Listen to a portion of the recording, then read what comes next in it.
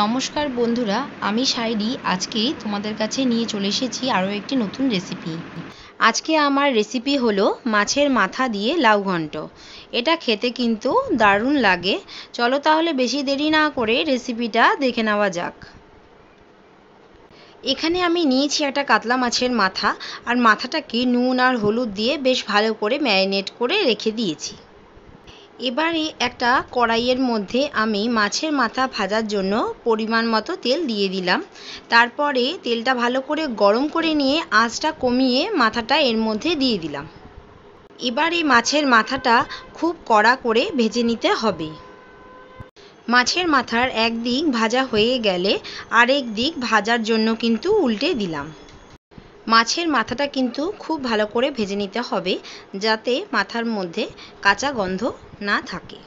একটু চাপা দিলেই দেখবে যে মাছের মাথাটা ভেঙে গেছে, তখনই বুঝবে যে মাছের মাথা খুব ভালো করে ভাজা হয়ে গেছে।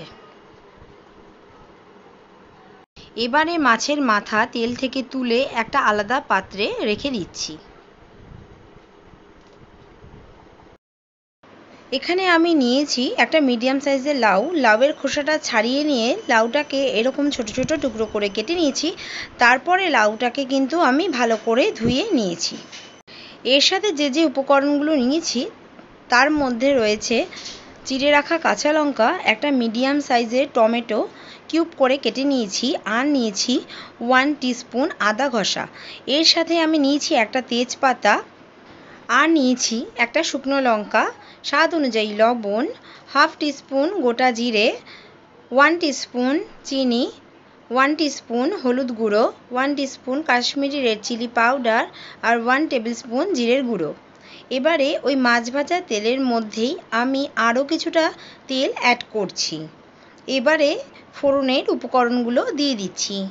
দিয়ে দিলাম গোটা জিরে, এর সাথে দিয়ে দিলাম শুকনো লঙ্কা আর তেজপাতা। এবারে এটা সামান্য একটু ফ্রাই করে নিতে হবে।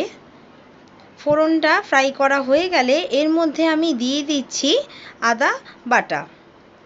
আদা বাটাটা হালকা ভেজে নিয়ে তার মধ্যে দিয়ে দিচ্ছি টমেটো কুচি। এবারে কিন্তু এই টমেটো কুচিটাও কিন্তু ভালো করে ভেজে নিতে হবে। টমেটোটা যখন হালকা নরম হয়ে আসবে, তখন এর মধ্যে দিয়ে দিলাম দুটো চিড়ে রাখা কাঁচা লঙ্কা। এবারে এই সব কিছুই কিন্তু একটু ফ্রাই করে নিতে হবে। এবার এর মধ্যে দিয়ে দিচ্ছি হলুদ গুঁড়ো, তারপর দিয়ে দিচ্ছি জিরের গুঁড়ো, আর দিয়ে দিচ্ছি কাশ্মীরি রেড চিলি পাউডার। এবারে এই মশলাগুলো দিয়ে মশলাটা কিন্তু বেশ ভালো করে কষিয়ে নিতে হবে। মশলাটা যখন ভালো মতো কষে আসবে, তখন দিয়ে দিতে হবে ছোট ছোট টুকরো করে কেটে রাখা লাউ। লাউয়ের টুকরোগুলো দিয়ে দেওয়ার পরে লাউটাকে কিন্তু সব মশলার সাথে ভালো করে মিশিয়ে নিতে হবে। লাউটা কিন্তু একটু ভালো করে কষিয়ে নিতে হবে এই সব মশলার সাথে। তারপর এর মধ্যে আমি আবারও অ্যাড করে দিচ্ছি ওয়ান টিস্পুন হলুদ গুঁড়ো, আর দিচ্ছি ওয়ান টিস্পুন জিরের গুঁড়ো, আর দিচ্ছি স্বাদ অনুযায়ী লবণ। এবারে এই সব মশলা দিয়ে লাউটাকে আরও একবার নাড়াচাড়া করে নিচ্ছি। এবারে লাউটাকে সেদ্ধ হতে দেওয়ার জন্য পাঁচ মিনিটের জন্য একটা ঢাকনা চাপা দিয়ে ঢেকে রাখছি।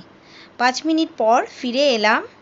দেখো, লাউটা কিন্তু বেশ ভালো মতো সেদ্ধ হয়ে গেছে আর লাউ থেকে কিন্তু জলও বেরিয়ে এসেছে। এবারে কিন্তু লাউটা খুব ভালো করে কিন্তু কষিয়ে নিতে হবে। আর এই সময় গ্যাসের ফ্লেম কিন্তু বাড়িয়ে নিতে হবে। তারপর এর মধ্যে দিয়ে দিলাম মাছের মাথা টুকরোগুলো। মাছের মাথা ভালো করে লাউয়ের সাথে কিন্তু মিশিয়ে দিচ্ছি।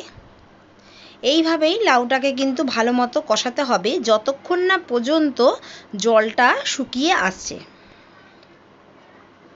এবারে এর মধ্যে আমি অ্যাড করে দিচ্ছি ওয়ান টিস্পুন চিনি। এতে লাউয়ের স্বাদটা কিন্তু আরও বেড়ে যাবে। আর তোমরা যদি চিনি পছন্দ না করো, তাহলে কিন্তু চিনিটা স্কিপ করে যেতে পারো। দেখো, লাউটা কিন্তু কষাতে কষাতে জলটা কিন্তু অনেকটাই টেনে এসছে। আর লাউটাও কিন্তু বেশ ভালো মতো সেদ্ধ হয়ে গেছে। রান্নাটা করতে করতে তোমাদেরকে একটা টিপস আমি শেয়ার করছি। যখন কোনো জিনিস একটু মাখো মাখো তৈরি করবে, তখন তার মধ্যে দিয়ে দিতে পারো ওয়ান টিস্পুন ময়দা। ময়দা দিলে কিন্তু যে কোনো জিনিসই একটু মাখো মাখো তৈরি হবে। তাহলে তৈরি হয়ে গেল মাছের মাথা দিয়ে লাউ ঘন্ট। এবারে একটা সার্ভিং বলে আমি সার্ভ করে দিচ্ছি। তাহলে বন্ধুরা, কেমন লাগল আজকে আমার এই রেসিপি যদি তোমাদের আমার এই রেসিপি ভালো লেগে থাকে, তাহলে কিন্তু অবশ্যই আমার রেসিপিটা সকলের সাথে শেয়ার করো। আর তোমরাও কিন্তু এইভাবেই বানিয়ে নিতে পারো মাছের মাথা দিয়ে লাউ ঘন্ট। আর কেমন লাগল অবশ্যই আমাকে কমেন্ট করে জানাবে। আবার চলে আসব আমি নেক্সট রেসিপি নিয়ে তোমাদের কাছে।